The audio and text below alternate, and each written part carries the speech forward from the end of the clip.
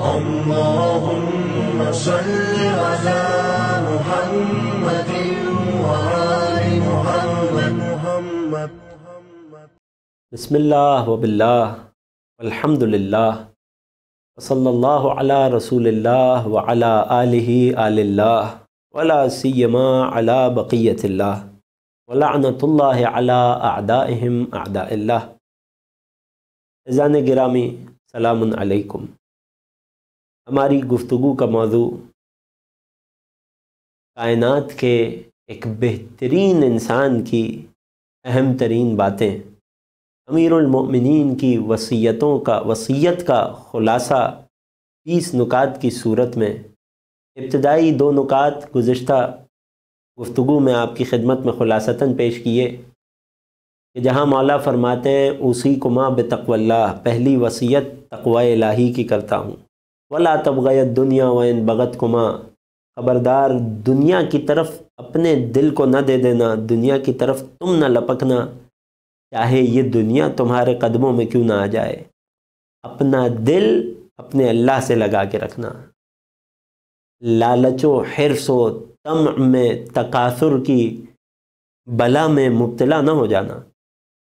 تیسرا نقطہ جو مولا علی نے اس وصیت میں ارشاد فرمایا فرماتے ہیں، ولا تصفا علا شعین زویا عنکما کائنات کا کوئی زاہد یا جسے لوگ فقیر کہتے ہیں، کوئی ولی، کوئی فقیر، کوئی زاہد، کوئی عابد، زہد اور دنیا سے بے رغبتی پر اتنا بڑا جملہ نہ کہہ سکا۔ جتنا بڑا جملہ مولائے کائنات نے زخمی حالت میں بستر شہادت پر بیان فرما دیا۔ یہ تیسرا نقطہ در حقیقت اثر ہے، نتیجہ ہے اس دوسرے نقطے کا، جس میں مولا نے دنیا سے بے رغبتی کی طرف انسان کو رہنمائی کی۔ ترجمہ کیا؟ ولا تصفا اللہ شعین لوگوں، جب دنیا کی محبت ہمارے دلوں میں نہیں ہوگی، تو یقیناً انسان اس دنیا میں اپنی کوشش کرتا ہے۔ اس دنیا کی ریس میں اپنے آپ کو دوڑاتا ہے۔ کوئی کامیاب ہوتا ہے، کوئی ناکام ہوتا ہے۔ کہیں فائدہ ہوتا ہے، کہیں نقصان ہوتا ہے۔ کوئی پا لیتا ہے، کوئی کھو بیٹھتا ہے۔ اگر دل میں دنیا کی رغبت نہ بسی ہوئی ہو، تو انسان کی زندگی یوں بھی آسان ہوتی ہے کہ جو پا لیتا ہے، اس پر خدا کا شکر ادا کرتا ہے۔ مگر جو نہ پا سکے، اس پر دل تکلیف میں مبتلا نہیں ہوتا۔ اگر شیئر مارکیٹ میں انسان کو لاس ہو جائے تو یہ کاروبار کا حصہ ہے۔ انسان کو اس نقصان کو اپنے دل میں درد کی صورت میں محسوس نہیں کرنا چاہیے۔ یہ دنیا سے بے رغبتی کی علامت ہے۔ اس کے برعکس، اگر کوئی نقصان ہونے پر، کوئی دنیاوی نقصان ہونے پر انسان بیمار ہو جائے، انسان کو دل میں تکلیف ہو، رنجیدہ ہو، غمزدہ ہو ابتدائی طور پر یہ حالت ہو واضح ہے، لیکن مسلسل یہ کیفیت رہے۔ سوچ کر بھی انسان اس حالت سے، اس اسٹریس سے، اس مایوسی سے خود کو نہ نکال سکے تو یہ دل میں دنیا کی محبت کے بسے ہونے کی علامت ہے۔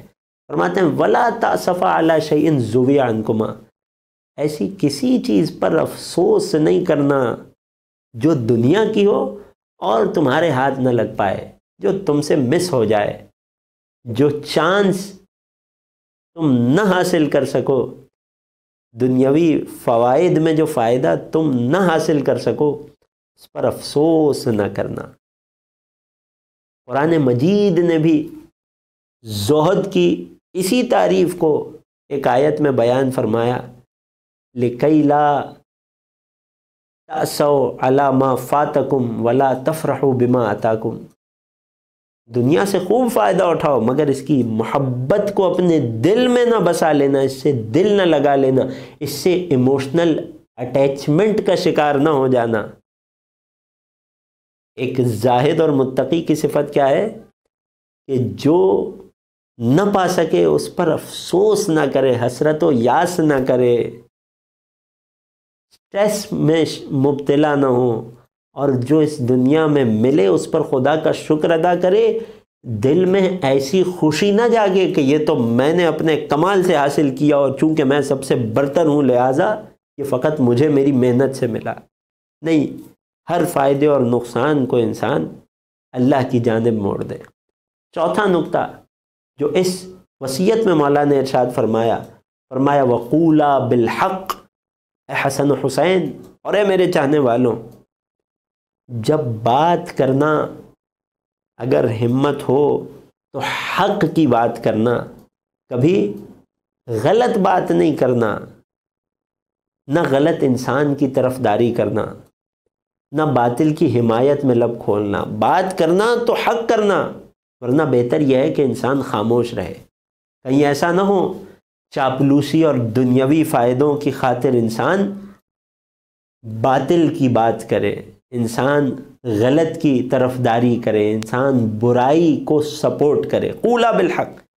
کہنا تو حق کی بات کہنا، ورنہ خاموش رہنا۔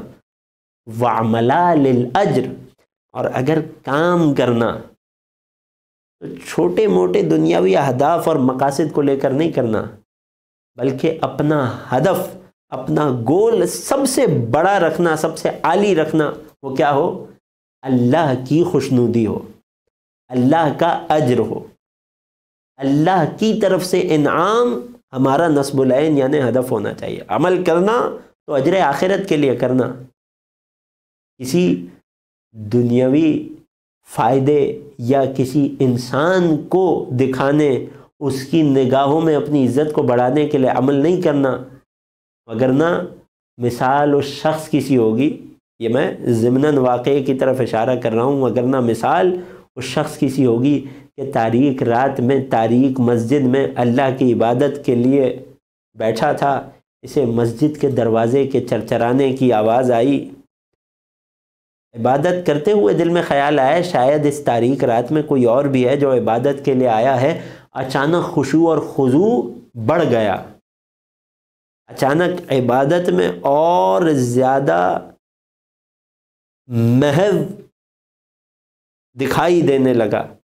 رات بھر عبادت کرتا رہا اور بڑے اچھے سے کرتا رہا۔ جب صبح عبادت کر کے مسلح سے اٹھا ہے اور اپنی گردن کو موڑا ہے تو کیا دیکھا؟ کہ مسجد کے دروازے کے پاس ایک کتا بیٹھا ہے جو سردی سے بچنے کے لیے اس علاقے میں مسجد کے دروازے میں داخل ہو گیا۔ گویا کہ اس کی ساری رات کی محنتیں اور تھکاوٹیں ایک کتے کے لیے تھیں۔ یہ فقط ایک مثال اور حکایت ہے کہ خدا کے علاوہ اس دنیا میں کسی بھی چیز کے لیے انسان کام کرے، اس کام کی مثال ایسی ہے جیسے رات بھر کی عبادت ایک کتے کو دکھانے کے لیے کی جائے۔ اگلا نقطہ جس کی طرف مولا نے ارشاد فرمایا، اشارہ فرمایا، وکونا لظالم خسمن ولل مظلوم اونا خبردار ہمیشہ ظالم سے ناپسندیدگی اختیار کرے رہنا اور ہمیشہ مظلوم کے لیے مددگار بنے رہنا۔ کہیں ایسا نہ ہو کہ دنیاوی مصلحتیں یا چاپلوسیاں یا ذاتی فائدے تمہیں کسی ظالم کا طرفدار اور مظلوم کا مخالف بنا دے کہیں ایسا نہ ہو تم ایک ظالم سماج یا سسٹم کا صرف اسی لیے حصہ بنے ہوئے ہو یا اسی لیے اس کا دفاع کرتے ہو کیونکہ اس سے تمہارا ذاتی فائدہ ہو رہا ہے۔ ہمیشہ جس کیپیسٹی میں انسان کے لیے ممکن ہو، یقیناً شرعی دائرہ کار اور حدود کو دیکھتے ہوئے اور زمان غیبت کی تعلیمات کے مطابق اپنے مرجع تقلید کے فقہی مسائل اور تعلیمات کو دیکھتے ہوئے جس قدر انسان کے لیے ممکن ہو، خبردار، ظالم کے حامی نہ بننا اور مظلوم کی مدد سے باز نہ آنا۔ جس کا کم ترین رتبہ یہ ہے کہ انسان کم از کم ظلم کو برا تو میں برا تو سمجھے۔ انسان کے دل میں مظلوم پر ڈھائے جانے والے ظلم کے لیے تکلیف تو ہو، ایک ٹیس تو ہو۔ اونا لالم خسمن وللمظلوم آؤنا اگلے نقطے میں جو بات مولا ارشاد فرماتے ہیں، انشاءاللہ کہ اگلی گفتگو میں وہیں سے بات کو آگے بڑھائیں گے۔ گفتگو مسلسل رہے گی۔ پروردگار عالم سے دعا ہے۔ اس ماہ مبارک رمضان سے بھرپور فائدہ حاصل کرنے کی توفیق عطا فرما اور اس ماہ رمضان کو ہماری حیات کا آخری رمضان نہ قرار دے۔ وآخر دعوانا ان الحمد للہ رب العالمین۔ اللهم صل على محمد